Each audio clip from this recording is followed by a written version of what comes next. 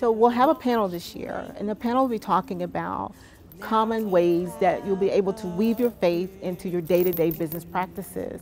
But also, we'll have a, a panel that will be talking also about how they've started faith-based employee resource groups and their own places of business.